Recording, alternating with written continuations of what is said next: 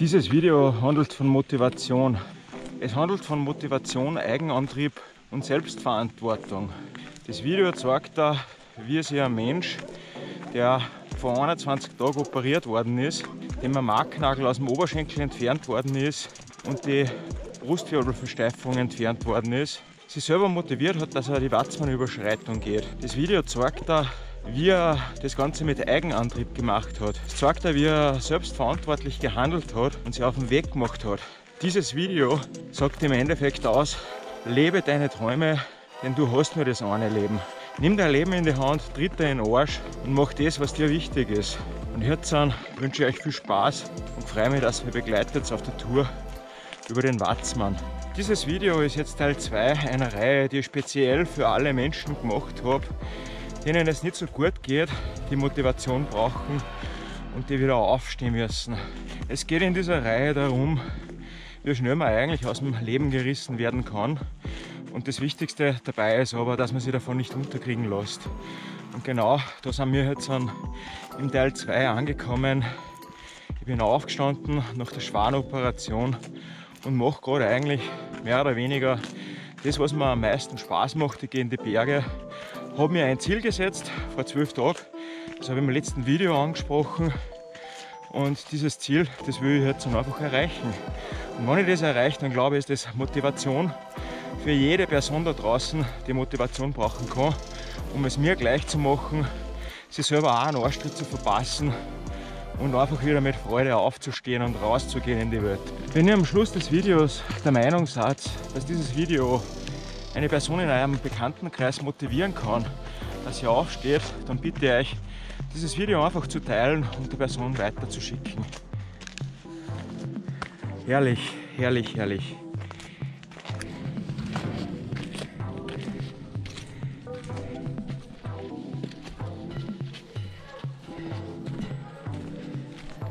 Wie seht ihr, das Wetter ist nicht so berauschend. Es zirkt gerade ein Tiefdruckgebiet durch. Im Laufe des Tages soll es besser werden, bevor dann am Abend wieder die nächste Wetterfront einzieht. Dieses Watzmann-Video wird auch um einiges kürzer sein wie meine anderen Watzmann-Videos. Dennoch bietet es zusätzlich zur Motivation einen Mehrwert. Ich werde euch dann später oben noch sagen, auf was das jetzt drauf ankommt, weil es ist mittlerweile Herbst, auf was zum Aufpassen ist, wenn man um diese Jahreszeit noch die Watzmann-Überschreitung machen will. Von daher bleibt unbedingt dran.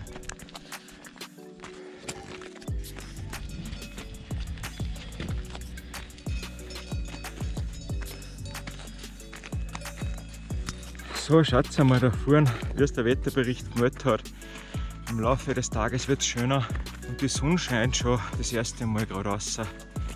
Genial. Da so auf geht es Richtung Watzmannhaus.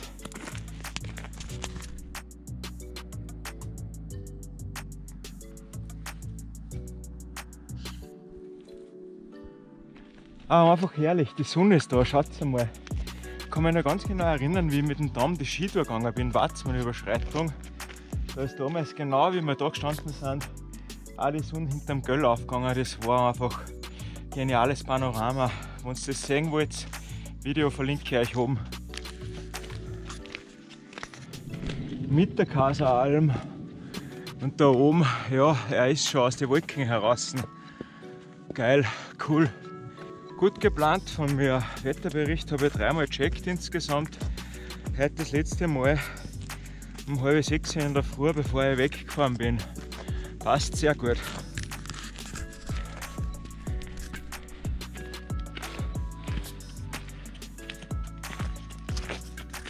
Ja, wenn ihr euch fragt, wie es mir geht, mir geht es hervorragend. Mit 5 Kilometern habe ich jetzt streckenmäßig genau 25% der Tour. Ich habe jetzt einen 842 Höhenmeter im Aufstieg. Das sind 35% der Tour, was ich an Höhenmeter im Aufstieg zu absolvieren habe. Und ich habe jetzt an 100 Höhenmeter schon mehr gemacht, ja, wie ich bis jetzt gemacht habe. Also bei meinen letzten zwei Touren, ich lasse mir Zeit, ich anstrenge mich nicht, habe dabei, das ist der richtige Zugang zu dem Ganzen. Und die Sonne scheint, was will man mehr, das gibt einem Kraft. Das gibt mir Energie und das gibt mir Motivation. Ja, Sportsfreunde, jetzt sind jetzt gleich aus dem Wald raus und es ist nicht mehr weit, 300 Höhenmeter bis zum Watzmannhaus. Da werde ich noch einmal frühstücken. Es ist heute ein bisschen gefährlich, weil es geregnet hat und über den Watzmann rennen sowieso 100.000 Leute. Das heißt, die Felsen und die Steine sind sicher voll abgespeckt, gerade da im Wald, jetzt in erinnern. Und da wird es dann oben noch zum Aufpassen sein.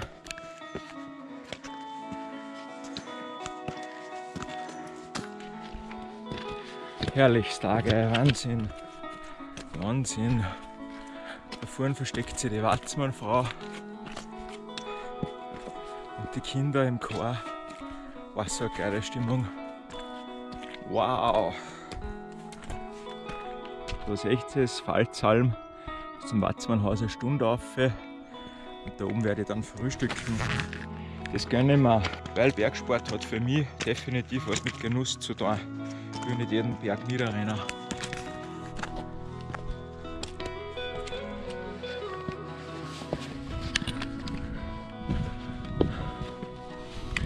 Gewaltige Stimmung heute, gewaltig. Und schaut einmal, da ist die Fahne vom Watzmannhaus. Yes, Frühstück.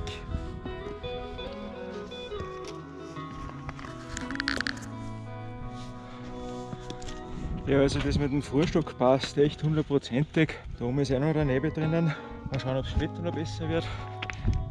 Drüben um Richtung Hochkalt, auch voll die geile Stimmung. Wahnsinn. Schaut mal raus. Wahnsinn, oder? Ha. Das sind halt die Momente, die auch einfach dazu motivieren, dass man sowas macht. Ich weiß es ja, was ich in den Bergen erlebe, aber diejenigen, die daheim am Sofa sind und den Arsch nicht hochkriegen, die wissen eben nicht, was sie versamen, wenn sie nicht aufstehen, wenn sie liegen bleiben. Aufstehen, steht auf, Leiteln und nehmt euch ein Leben in die Hand, macht's was, erlebt was.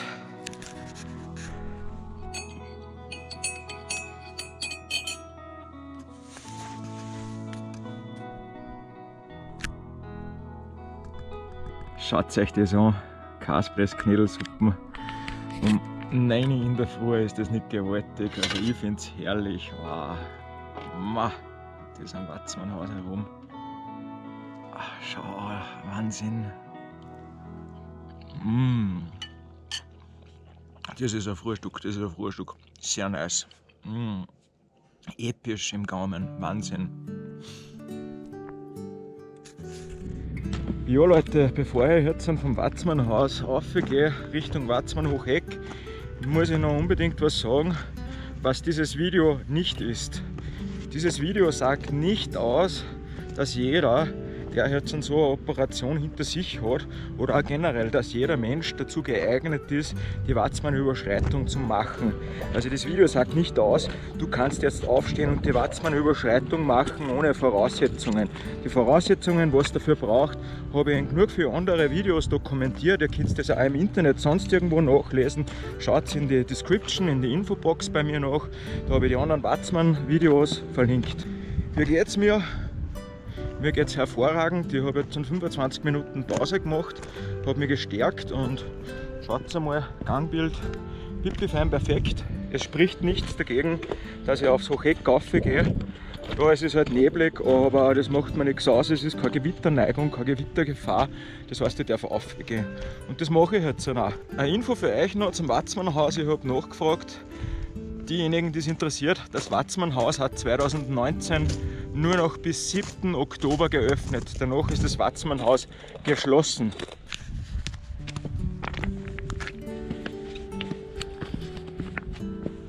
Jo Leute, fetzt oder? Am Weg zum Hocheck. Und schaut euch das an. Da vorne der Berg, das ist der Göll, dem habe ich das alles zu verdanken, was da heute passiert. Da die Watzmannfrau schaut raus und dahinter der Hochkönig rauf geht es zum Hocheck. Also da kommen noch ein paar epische Aufnahmen heute. Wer die nicht verpassen will, weiterhin dranbleiben. Geil, wow.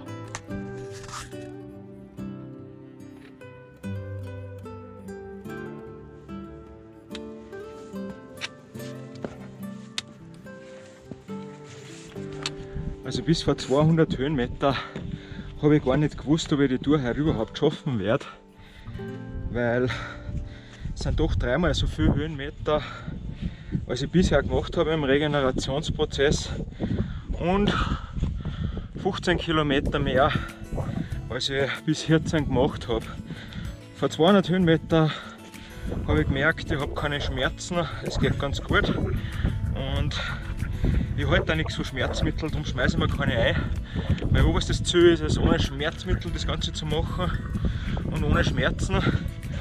Und ich bin ganz gut unterwegs.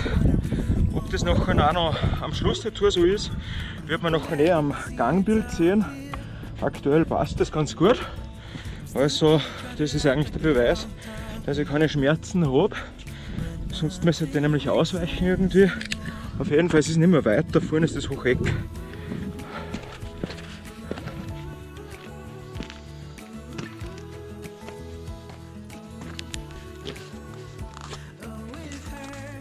Jo, Sportsfreunde, ich stehe schmerzfrei und ohne Schmerzmittel am Watzmann Hocheck herum mit geilem Tiefblick ins Watzmann K hinter mir. Ein Wahnsinn einfach, fühlt sich super an und selbstverständlich mache ich jetzt die Überschreitung weiter, weil das wird weiterhin halten. Jetzt ziehe ich mir aber was drüber an und tue die Stecken aufzeiten, weil da ist jetzt der Grad um mich. Jupp, perfekt. Richtig, richtig cool. Taugt mir. Voll cool. Also es war Zeit für einen Daumen auf, wenn ihr das noch nicht gemacht habt.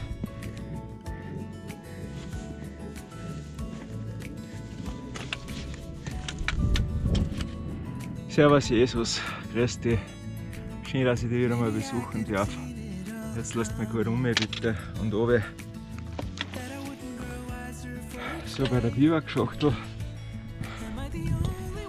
sieben Stunden bis zur Wimbach-Grieshütte, dreieinhalb Stunden bis zur Südspitze.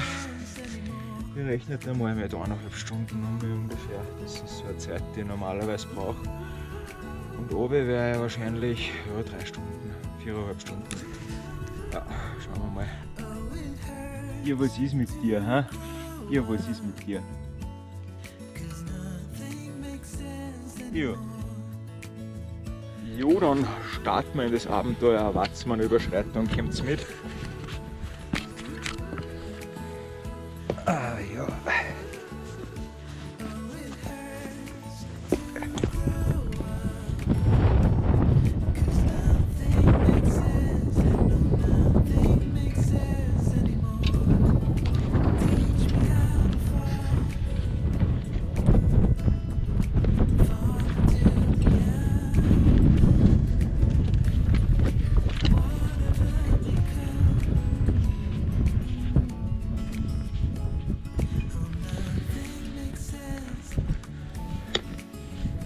Die Überschreitung jetzt nur so sporadisch, weil es in erster Linie mir darum geht, dass ich die Tour mache.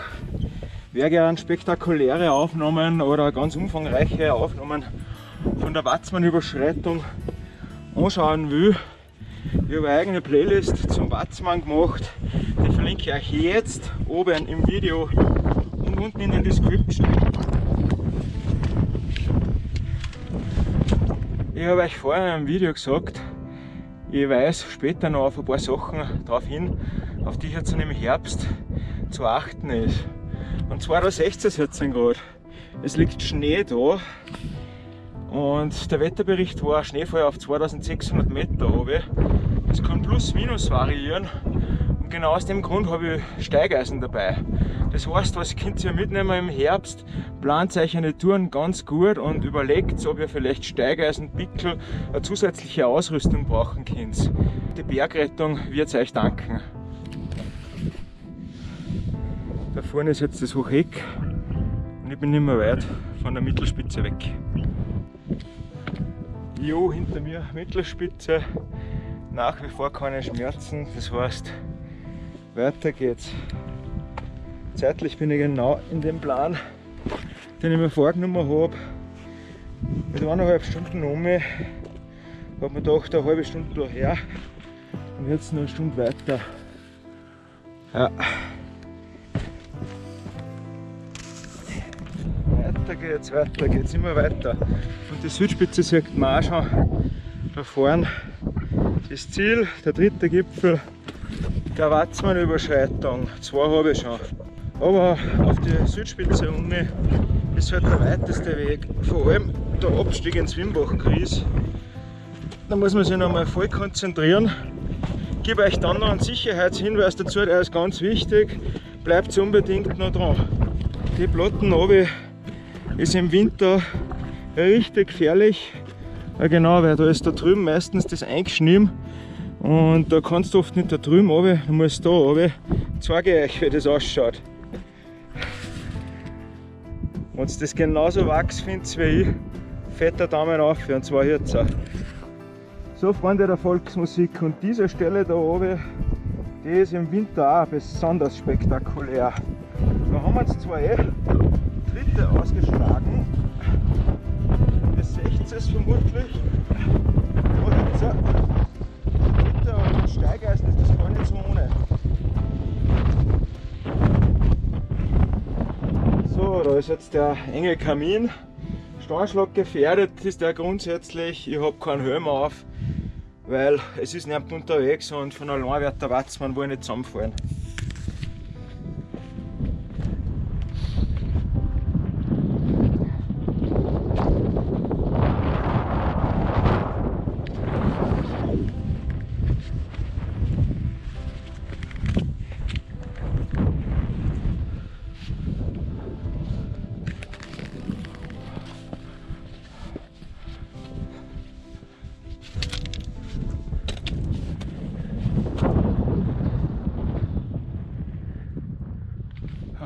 Wirklich nur ganz sporadisch gefilmt. Schaut mal, da geht es in die Ostwand runter. Habe ich auch schon ein paar Videos veröffentlicht. Das Video mit den Wegpunkten und Schlüsselstellen oben und unten auch verlinkt. Und voll cool, schaut mal, Königssee. Fahren die Schiffe, da fahren der Obersee. Ah, gewaltig. Und jetzt geht's zum ausgesetztesten Teil der Watzmann-Überschreitung. Da filme ich euch noch ein bisschen was mit. Jetzt bei der Stelle zeige ich euch auch, was die Perspektive ausmacht.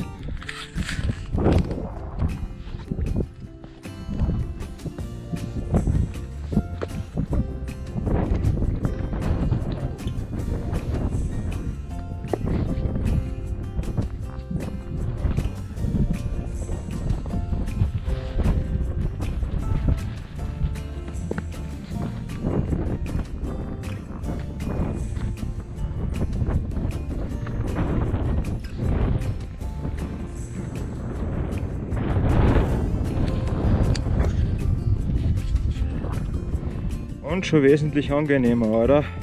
Die Stelle, wo wir jetzt sind, das nenne ich immer Ostwandquerung, weil man da unterhalb vom Grat, der im Übrigen brüchig ist, vorbeigeht und wir befinden uns da einfach in der Ostwand. Da drüben kommt man von der Ostwand raus, ist nicht mehr weit zum Gipfel. Das, ich habe gerade einen Alternativaufstieg gemacht. Von da komme ich auf, zwei Plusgelände steigt man direkt beim Kreuz aus. Yeah.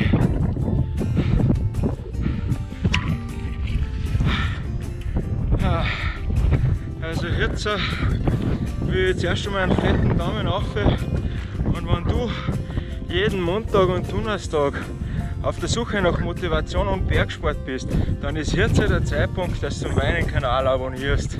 So schaut es nämlich aus. Ist doch eine gewaltige Leistung. 21 Tage nachdem das Graffe aus dem Körper rausgekommen ist, die Watzmann-Überschreitung machen. Ah, ich habe keine Schmerzen, super, richtig geil und jetzt mache ich eine kurze Pause. So schaut es aus. Mm, Mahlzeit, Mahlzeit, Mahlzeit, Mahlzeit.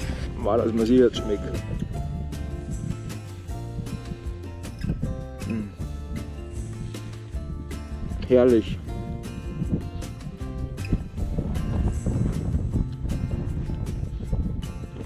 Jo Freunde der Nation, jetzt geht es an den Abstieg und mit dem Abstieg ist es noch nicht getan.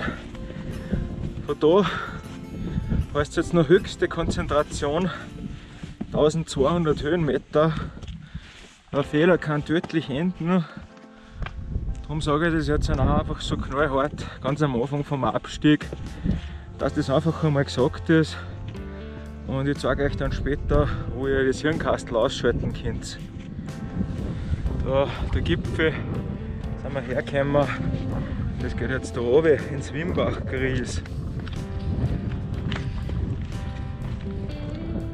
Da hinter mir seht ihr das Gelände, durch das wir runterkommen. Also da ist richtig zum Aufpassen. Wenn man wenn oben sich hat, Steinschlag gefährlich, Helm aufsetzen. Bei mir passt das alles. Das nimmt oben mir. Beziehungsweise sind die Leute weit weg, die sind gerade erst am Gipfel angekommen und machen eine Pause, wie ich weggegangen bin. Und da oben geht es jetzt für den Alm- und Wiesenwanderer Franz Althuber in sein natürliches Element, nämlich ins bayerische Schotterpulver. Kommt's mit? Ui, Pulver! Pulver! Jawohl, Pulver! Schotterpulver! Geil! Du seht es nochmal, da durch die Wand kommt man raus.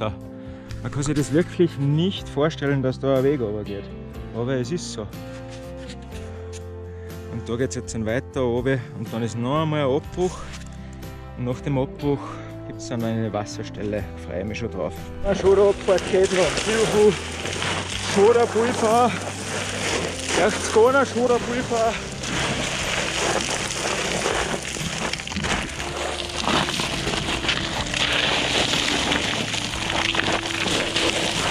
Jo, Sportsfreunde, jetzt holen wir nochmal Wasser. Seht ihr? Und da vorne ist eine Wasserquelle. Kurz chillen nochmal. Jo, Freunde der Nacht, mittlerweile bin ich wieder unterwegs. Wasser habe ich mir nochmal zur Gänze aufgefüllt und jetzt geht es da runter ins Wimbach-Gries. Schaut mal, ihr könnt es euch vorstellen. Fehler ist da an vielen Stellen nicht drinnen. Es ist jetzt nochmals seilversichert und da vorne kommt dann die letzte von zwei Ketten. Nicht da, aber ums Eck nachher noch einmal. Und dann kann man das Hirnkastel noch immer nicht ausschalten. Damit ihr jetzt noch einmal seht, filme ich euch die. Das sind diese Stahlketten, die sind brutal schwer. Die sind richtig, richtig schwer. Also nicht nur Hirnkastel braucht eine Kondition, sondern auch in die Arme brauchst du auch noch eine Kraft. Ja, und in dem Gelände da jetzt und das, das letzte Mal zum Aufpassen, da sollte man auch nicht ausrutschen, weil sonst liegst mindestens mit schweren Schürfverletzungen unten im Wimbachgries. Es ist nicht sonderlich schwer da oben, aber es ist halt ungut, weil so viel Schotter drinnen liegt. Das meinen sicher einige, der Schotter Franz, der mag eh das Schotterpulver, aber da oben mag ich es selber auch nicht ja, Freunde des Alpinbergsports. Und wenn ihr da seid, dann könnt ihr es mir gleich machen, dann könnt ihr euch niederlegen. Dann könnt ihr euch niederlegen, weil da hat euch der Watzmann hergeben. Da kann nichts mehr passieren. Bis ihr an diesem Ort seid, gehört ihr dem Watzmann.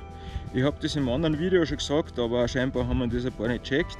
Merkt es euch, erst wenn ihr hier seid, dann hat euch der Watzmann hergegeben. Ich bin schmerzfrei im Wimbachgries angekommen. Das heißt, es ist mir wirklich gelungen, mein Ziel zu erreichen, zu verwirklichen. Ich habe es noch nicht realisiert. Wahrscheinlich werde ich dann später noch einen richtig argen Grinser haben und freue mich richtig, dass mir das aufgegangen ist, innerhalb von drei Wochen nach der Operation diese Tour zu schaffen. Also richtig geile Leistung, taugt mir. Und ich hoffe, dass das den einen oder anderen jetzt motiviert und dass es vielleicht den einen oder anderen mitreißt. Noch einmal, was ich ganz am Anfang gesagt habe, wenn ihr jemanden kennt, der Motivation braucht und wenn ihr glaubt, dieses Video könnte der Person dabei helfen, dann freue ich mich, wenn ihr es teilt. Teilt es weiter. An allen anderen bedanke ich mich, dass ihr dabei gewesen seid, dass ihr zugeschaut habt. Ich verabschiede mich jetzt von euch, weil ich werde in der Finsternis draußen ankommen ich trinke in der Wimbach Griershytten noch ein Bier auf mich und auf euch. Und ja, herzlichen Dank, dass ihr dabei gewesen seid. An alle, äh, die noch nicht in meiner Community sind, würde ich mich freuen, wenn sie auch meinen Kanal abonnieren. Und diejenigen, die es noch nicht gemacht haben und denen das Video gefallen hat, Daumen auf. In dem Sinne vielen Dank, dass ihr dabei wart. Bis zum nächsten Mal. Ciao, pfiat euch.